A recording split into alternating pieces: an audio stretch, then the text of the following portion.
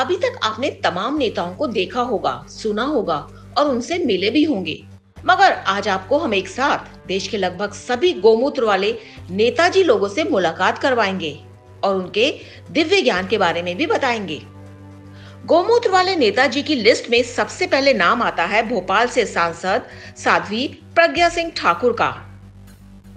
माननीय जी का कहना है कि गोमूत्र पीने से फेफड़े के अंदर का इन्फेक्शन दूर हो जाता है।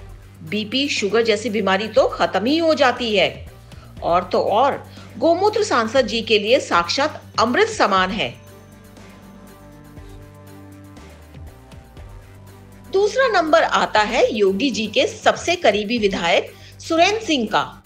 ये बलिया से विधायक हैं और दावा करते हैं कि हर रोग की दवा गोमूत्र है। बस इंतज़ार इस बात का है कि योगी जी इनको स्वास्थ्य मंत्री कब बनाएँगे। तीसरा नंबर आता है उत्तराखंड के विधायक महेंद्र भट्ट का।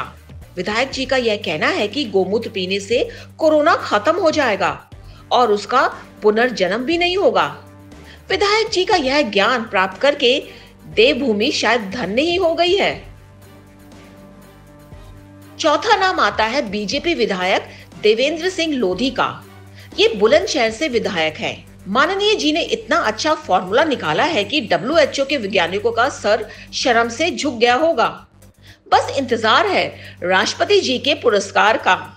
फ़िलहाल, माननीय जी ने यह फॉर्मूला बता दिया कि हर रोज 25 मिलीलीटर गोमूत्र के सेवन से सारी बीमारियाँ दूर भाग जाएँगी। पांचवा नाम आता है आसाम से बीजेपी विधायक सुमन हरिप्रिया का। इन विधायक जी का दावा है, गोमूत्र और गोबर से कोरोना वायरस ठीक हो सकता है।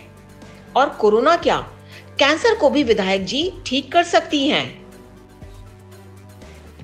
छठा नाम आता है बंगाल के भाजपा अध्यक्ष दिलीप घोष का। बीजेपी के अध्यक्ष जी का कहना है, हमें स्वस्थ रहने के लिए गोमूत्र पीना चाहिए। मगर उसके बाद भी अध्यक्ष जी कोरोना संक्रमित हो गए।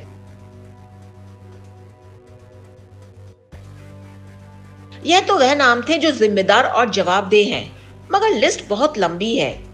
अगर इस तरीके से हम सबका नाम बताना शुरू कर देंगे तो आप भी सुन सुनकर थक जाएँगे। फिर भी हम उन सभी महान लोगों से माफ़ी मांगना चाहते हैं, जिन लोगों का नाम हम इस लिस्ट में नहीं डाल पाए। और वह चाहते हैं कि उनका नाम भी इस लिस्ट में होना चाहिए तो कृपया आप हमें कमेंट करके अपना नाम बता सकते हैं। और अगली स्टोरी में हम आपका नाम ज़रूर डालें।